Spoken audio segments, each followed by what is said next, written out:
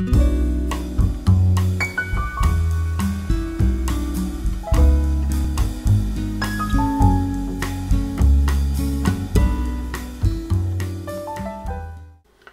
und willkommen zur Albenrevue während unserer kleinen Tour durch die späten 60er.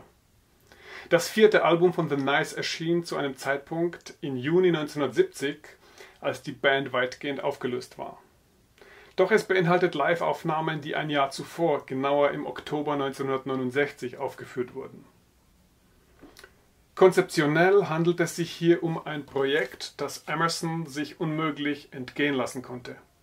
Das Newcastle Arts Festival beauftragte bei ihm die Komposition und Aufführung einer Suite, die Orchester, und Band unter ein Dach packen würde und somit das Alte und das Neue verband. Emerson stürzte sich also in 1969 in die Komposition seines bis dahin größten und aufwendigsten Wurfs. Die Musik zählt hierbei zu der sogenannten Programmmusik, also eine symphonische Komposition, die ein greifbares Thema behandelt. Ähnlich wie Bedřich Smetanas Moldau-Programmmusik ist oder Bilder einer Ausstellung von Mussorgsky. Hier behandelt die Five Bridge Suite die damals vorhandenen fünf Brücken über den Fluss Tyne in Newcastle. Beeinflusst von seinen Lieblingskomponisten wie Sibelius und Grieg oder Tchaikovsky entstand hier unter Emersons Feder ein solides, verspieltes Klassikwerk, das trotz seiner höchst charmanten Art natürlich auch ein wenig unoriginell ist. Man könnte vielleicht auch von Derivativ sprechen, wollte man sehr schlau klingen. Die Suite selbst dauerte 18 Minuten. Auf dem Album deckt sie die gesamte A-Seite ab. Die Aufnahme, die man auf der Platte hört, stammte aus dem Konzert in Fairfield Halls in Croydon. Für die Aufführung wurde eine Sektion aus drei Saxophonen, Trompete und Horn angeheuert, während der Dirigent Joseph Eager die Sinfonia of London dirigierte. Die Band musste sich erstmal ganze drei Sätze vollständig gedulden. Erst beim vierten Satz, gänzlich unerwartet, erklingt Lee Jacksons Bass. Erst hier hören wir den typischen The Nice Sound mit Jacksons rauer Stimme. Es ist ein provokanter und überraschender Kontrapunkt zu den vorangegangenen drei Sätzen, die alle tief in der romantischen und expressionistischen Musik der Jahrhundertwende angesiedelt sind. Emersons Hammond-Spiel ist erneut bahnbrechend an dieser Stelle, eine Menge Action verpackt in nur vier Minuten Laufzeit. Im Finale, das sozusagen die fünfte Brücke beschreibt, hören wir zum ersten Mal Orchester und Band gleichzeitig in einer elegischen, verträumten Komposition, die sich mit einem jazzigen Thema abwechselt. Hier kommt auch in sehr spannender Art und Weise diese ganze Saxophon- und Hornsektion zum Einsatz. Die B-Seite dann beinhaltet bekanntere Nummern aus dem The Nice Repertoire, das die Band damals unmittelbar nach der Five Bridge Suite aufführte.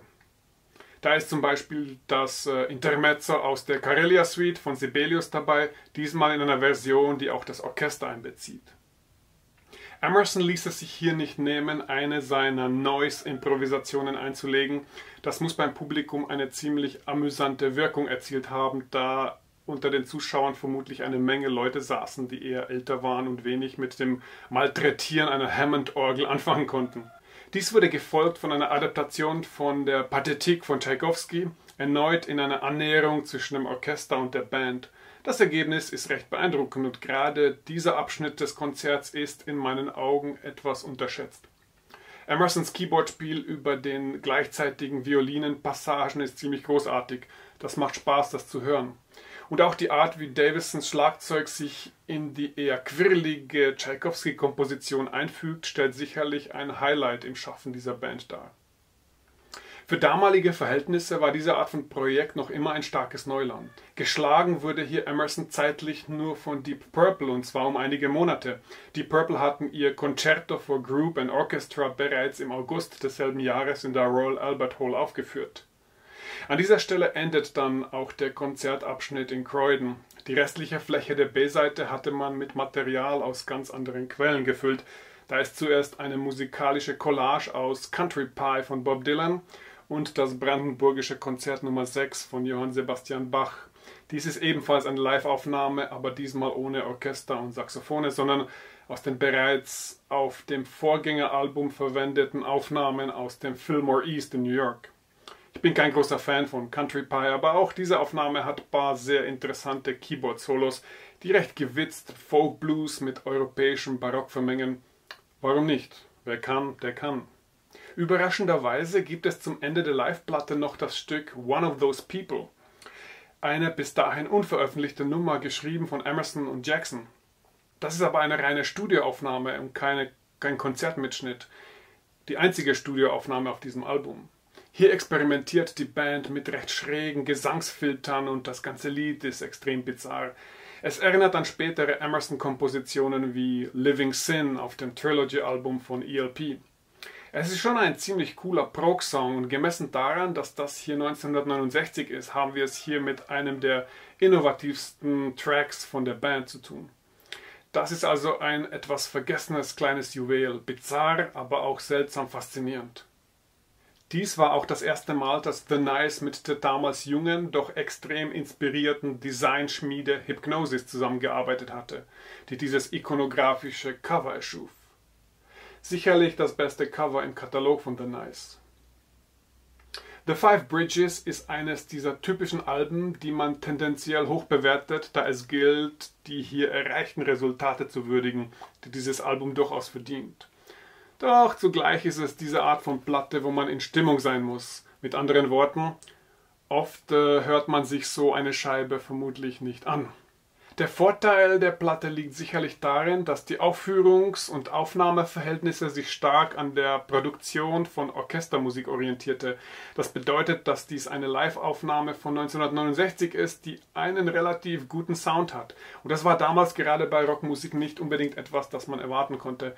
Rock-Live-Aufnahmen klangen Ende der 60er oft recht krätzig, um es milde auszudrücken. Aber Five Bridges hat einen guten Sound, der damals durchaus richtungsweisend war. Das Highlight ist hier sicherlich die Adaptation von Pathetique von Tchaikovsky mit Band und Orchester. Gerade Brian Davison brilliert hier. Und wer sich mal an etwas für damalige Verhältnisse äußerst Innovativem versuchen möchte, soll mal One of Those People heraussuchen. Ich gebe dem Album vier Sterne. Obwohl ich zugeben muss, dass ich es mir kaum öfter als aller fünf oder zehn Jahre anhöre, aber das gilt letztendlich für all diese Orchester-, Meet-, Rockband-Projekte. Als diese Platte herauskam, gab es The Nice nur noch als ein Verwertungsthema für übrig gebliebene Aufnahmen. Emerson hatte bereits längst begonnen, mit Greg Lake und Carl Palmer zu proben. Lee Jackson und Brian Davison blieben durchaus nicht untätig. Sie gründeten drei Jahre später die Band Refugee, die durchaus verdammt interessante Musik gemacht hatte, trotz ihrer Kurzlebigkeit. Ironischerweise hatte hier der ewige Emerson-Rivale Patrick Moraz Keyboards gespielt, das aber ist eine andere Geschichte. Das war Five Bridges von The Nice aus dem Jahr 1970.